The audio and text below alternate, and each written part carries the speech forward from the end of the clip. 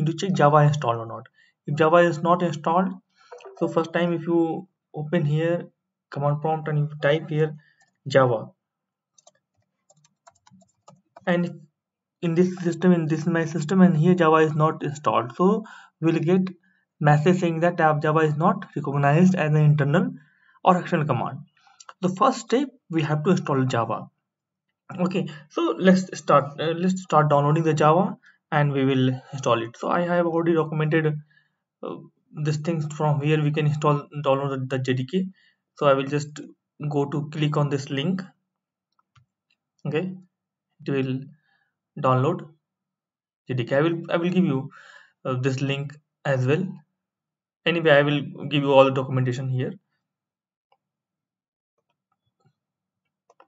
Okay, so I will give you all the documentation. It will be easy to, or you can just search in Google download Java JDK. What is the latest version you will find? You can just download it use for the Windows. Okay, so yeah, this is done. So it is downloaded. So I will just click here okay I'll just click here and uh, install it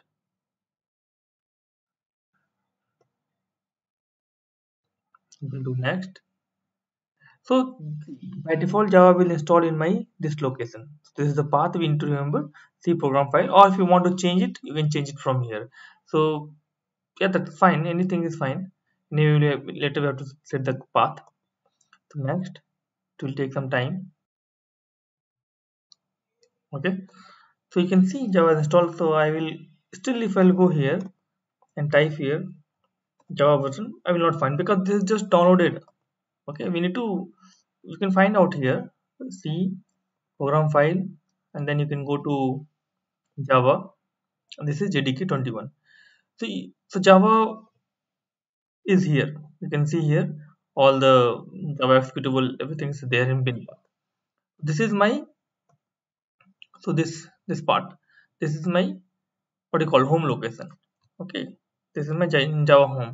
So we'll set the the class path for this. So we will I will just go to open environment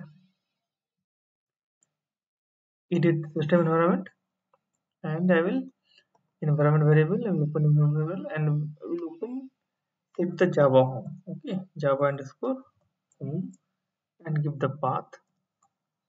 That's all. And then we can that we set the class path for this.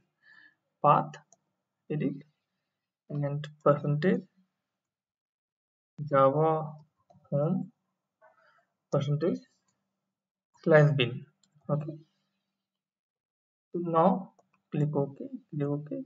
Now if you go to this terminal still i'm finding this error so we'll just uh, start the terminal cmd okay. and now you can check your java now you can see we have java 21 so this is the first step complete